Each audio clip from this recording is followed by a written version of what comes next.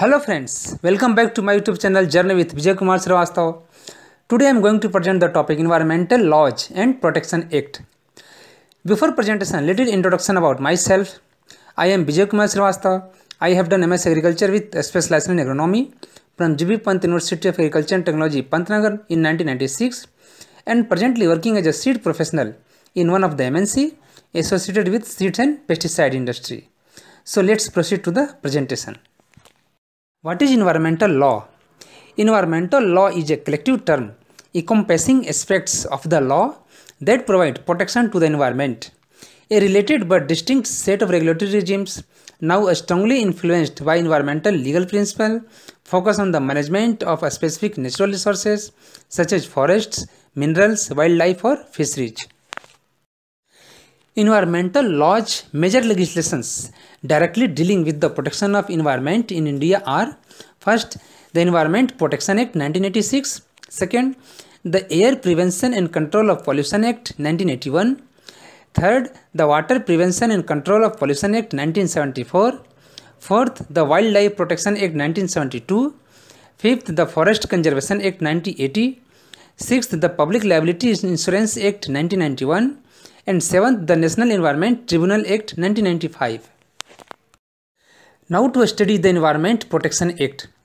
The Environment Protection Act 1986 was constituted on 19th November 1986 to provide protection and improvement of environment and for matters connected with environment. The spirit of proclamation adopted by the United Nations Conference on Human Environment held in Stockholm in June 1972 was implemented by the Government of India by creating this act. There are four main chapters and different clauses under various chapters which lay down the standards, policies and act of environmental degradations and policies for improvement of environment and prevention of human beings from environmental hazards. Here to discuss the chapters related to Environment Protection Act. Chapter 1 describes the definitions of various entities that are related to environment. Chapter 2 describes the role of central government to take measures for environment protection and its improvement along with the economic development. It includes the appointment of officers, power to give directions, rules to regulate environmental pollution, laying down procedures and standards for industrial wastes, emissions and hazardous wastes. Chapter 3 deals with the prevention, control and abatement of environmental pollution. As per the guidelines, a person running an industry or operation cannot emit or discharge environmental pollutants in excess of the permissible limit. Central government or its officers may take samples of air, water, soils or other substances from any factory for the purpose of analysis and upon failure to satisfy the norms shall liable to be proceeded against and punished accordingly. There will be penalty imprisonment of 5 years with a fine up to 1 lakh rupees or it extends to 5000 rupees every day. Now chapter 4th it lists miscellaneous clauses which are not pertaining to environment but are guidelines for functioning and conduct of officers and government representatives and these guidelines must be laid before parliament for its validity. Now to study the Air Prevention and Control of Pollution Act. The Air Prevention and Control of Pollution Act 1981 is a control of the UN Conference on Human Environment held on June 1972. Steps were taken to prevent all natural amenities and with this in view, this act has been enacted in 1981. It consists of 7 chapters and 54 sections. The chapter 1 this chapter defines the following terms such as air pollutant, air pollution, approved fuel, automobile, chimney emission, control equipments, etc. Now chapter 2nd, it deals with the information regarding CPCB and SPCB, their constitutions, terms and conditions of service of members, delegation of powers to various officials. Chapter 3rd, this chapter emphasizes the functions of central board, and state board such as to collect, compile and publish the data regarding air pollution, and to guide the concerned industry for the effective prevention and control of air pollution. Now, chapter 4th of the Air Pollution Act. This deals with prevention and control of air pollution. The boards are authorized to declare the air pollution control areas, instruct regarding the emission standards from automobiles, and restrict the activities of certain industries.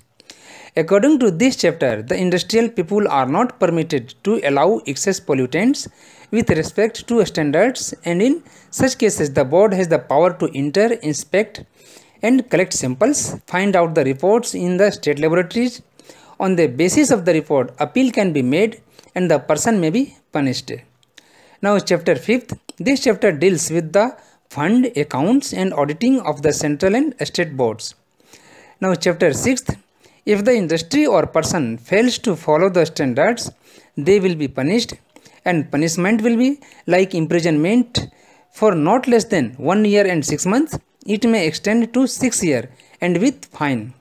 Now chapter 7th, it deals with the power to amend the schedules, the necessity of a state board to maintain a register containing relevant particulars and about the power of central and state government to make rules regarding the air pollution control. Here to study the Water Prevention and Control of Pollution Act. The Water Prevention and Control of Pollution Act 1974.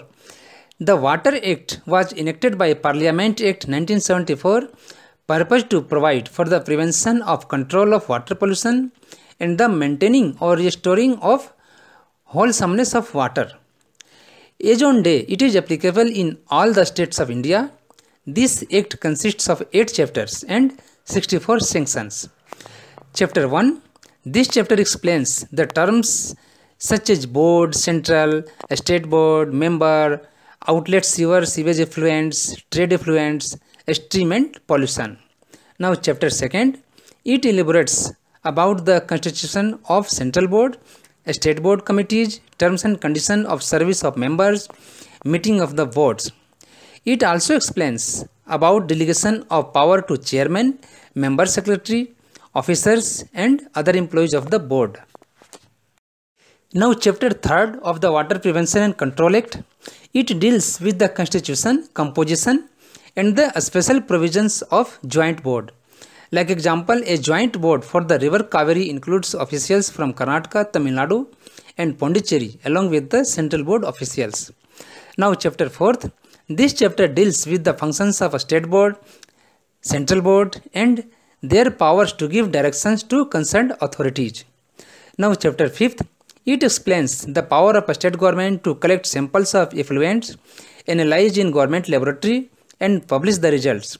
On the basis of the result, they may restrict the outlets and discharge into a stream or well. Now chapter 6th, it deals with the maintenance of funds of central and state board budgets, annual report submission, account and auditing. Now chapter 7th of the Water Prevention and Control Pollution Act. This elaborates about the penalty in case of offences committed by companies and the punishment imprisonment for not less than 1 year and 6 months but which may extended to 6 years with fine. In case of failure, an additional fine of 5000 rupees will be imposed for every day. In such case, the names of the offenders may be even published. Now chapter 8th, it explains about the central and state water laboratories, analysts, reports of the analysts, protection, actions in good faith and about the power of central and state government to formulate the rules. Important sanctions under this acts are 19, 21, 23, 24, 25, 27, 28, 33, 33A, 43, 43, 45 and 45A. Now to study the Wildlife Protection Act. The Wildlife Protection Act 1972. This act is framed for the protection of wild animals, birds and plants. This act comprises 7 chapters and 66 sections. This act extends whole of India except Jammu and Kashmir. Chapter 1 it deals with the definitions of terms such as habitat, hunting, national park, reserved forests, sanctuary, etc. Now, chapter 2nd, it clearly explains the authorities to be appointed, formation of Wildlife Advisory Board and its duties. Now chapter 3rd. It emphasizes the maintenance of record of wild animals killed or captured. Details regarding hunting of wild animals and regarding the license holders are elaborated. Now chapter 4th of the Wild Protection Act. It gives a notes on sanctuaries, national parks, game reserves, permission to enter a sanctuary, prohibited areas, district collectors power in maintaining these areas and also includes the power of central government to declare such areas as national parks and sanctuaries. Now chapter 5th it tells about the trade of wild animals, animal products etc. This chapter clearly explains that any animal killed, captured or trapped is a government property and also elaborates regarding the regulation of transfer of animal. Now chapter 6th this chapter explains about the penalties when found guilty under this act. 2 years imprisonment, rupees 2000 rupees fine, either or both. And in a sanctuary or animal park, when an offence is committed, imprisonment for maximum 6 years and minimum 6 months and fine not less than 500 rupees will be levied. Now chapter 7th, it deals with protection given to officers for action taken in good faith and explains the power provided to central and state government make two rules regarding the protection of wildlife. The Wildlife Protection Act 1972 refers to a sweeping package of legislation enacted in 1972 by the Government of India. Before 1972, India only had five designated national parks. Among other reforms, the Act established schedule of protected plants and animal species, hunting or harvesting these species was largely outlawed.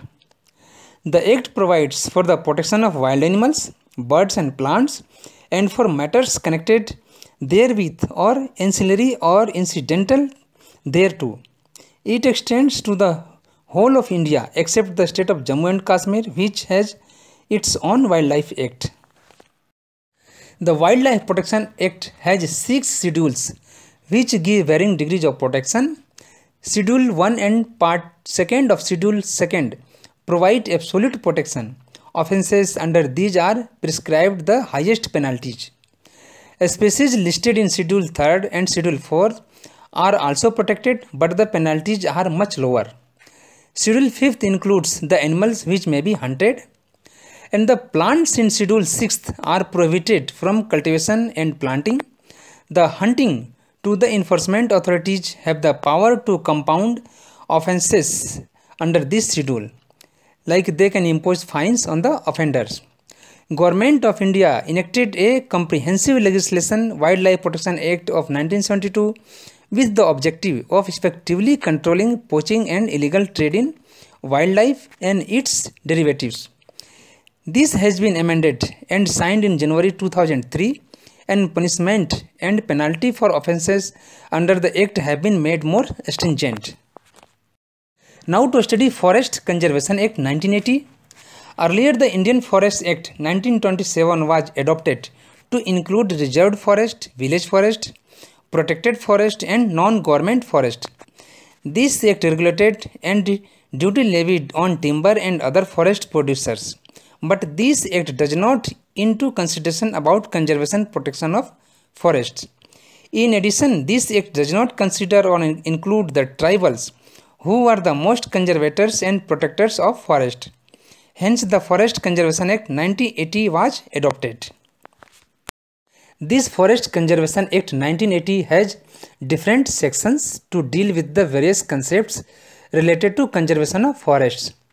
First, this act has the main aim to protect all types of forest. Second, thus indirectly help to maintain the ecosystem and biological diversity. Third, this act stresses that the state government would be empowered to declare as a reserve forest as unreserved and any forest land cannot be used for non-forest purpose like any purpose other than afforestation. Fourth, this act further checks the operations that must be carried out in forest such as mining which will cause ecological imbalance leading to environmental deterioration.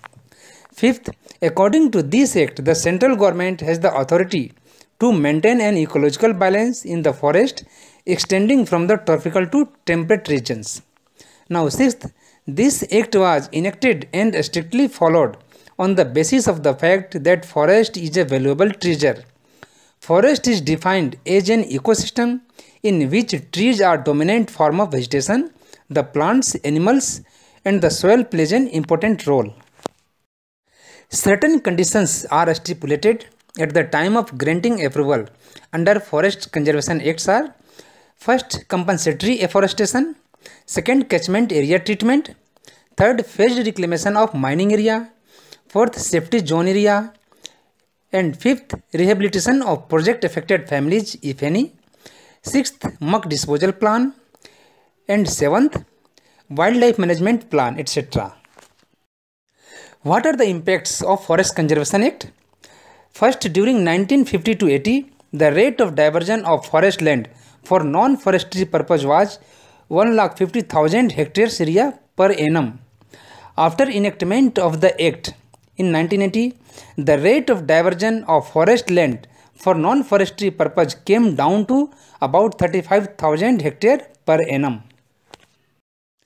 Now to study the Public Liability Insurance Act 1991.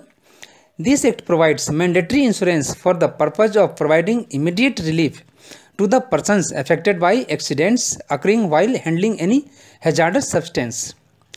Next, the National Environmental Tribunal Act 1995 seeks to constitute a tribunal with benches to award compensation for damage to persons, property, and the environment arising out of any activity involving hazardous substances.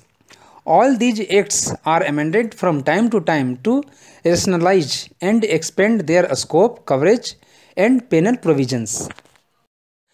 This was all about Environmental Laws and Protection Act.